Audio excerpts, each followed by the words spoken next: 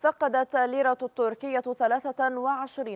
من قيمتها أمام العملات الأجنبية منذ بداية العام الجاري وسط سلسلة من الانهيارات المتتالية وسجل سعر صرف اليورو ارتفاعا تاريخيا أمام الليرة للمرة الأولى في, العش في العاشر من أغسطس الجاري إلا أنه عاد ليكسر هذا الحاجز مرة أخرى خلال آخر جلسة تعاملات